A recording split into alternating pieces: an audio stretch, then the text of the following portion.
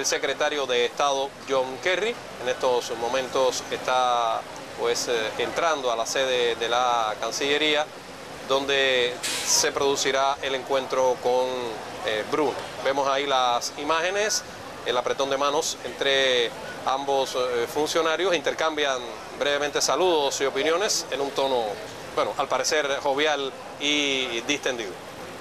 Ahí lo estamos viendo. Eh, recordemos que en el Departamento de Estado también eh, se encontraron ambos altos representantes de la diplomacia, eh, conversan a la entrada de la Cancillería cubana y dentro de pocos minutos pues entonces vemos el, número de periodistas allí presentes. Y dentro de pocos minutos se entrarán para establecer conversaciones que serán a puertas cerradas. Y nosotros estaremos también aquí comentándoles a ustedes eh, sobre qué temas podrían conversar ambos eh, altos representantes. La foto donde eh, marca el momento, admira el edificio del secretario de Estado John Kerry. Recordemos que eh, por momentos usa un bastón, pues se está recuperando de un accidente montando bicicleta. Ya mucho mejor, en Washington estaba con una muleta, ahora aquí usa un eh, bastón. Una bellísima instalación, la sede de la Cancillería cubana. Estas imágenes de la televisión cubana pues muestran la eh, belleza arquitectónica y lo bien conservada que se encuentra esta casona que de estilo neoclásico está ubicada aquí en el Vedado y que forma parte de las instalaciones de la eh, Cancillería eh, cubana. Bueno, hay abundante prensa, por supuesto, Cristina, una revisión de los medios digitales, de las principales cadenas de televisión de Estados Unidos y los principales medios de prensa internacionales, pues por supuesto hoy colocan en sus titulares y como noticia más destacada la visita del señor Kerry a La Habana y la reapertura de la sede diplomática.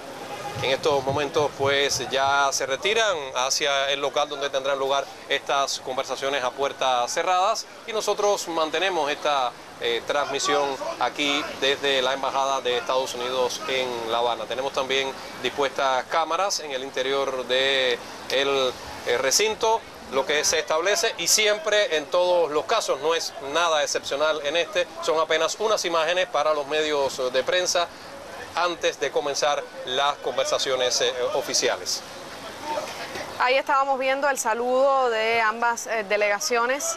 Eh, en estos momentos, junto a ambos altos representantes, el canciller cubano y el secretario de Estado, se encuentra eh, los jefes de misión, los encargados de negocio de ambas capitales.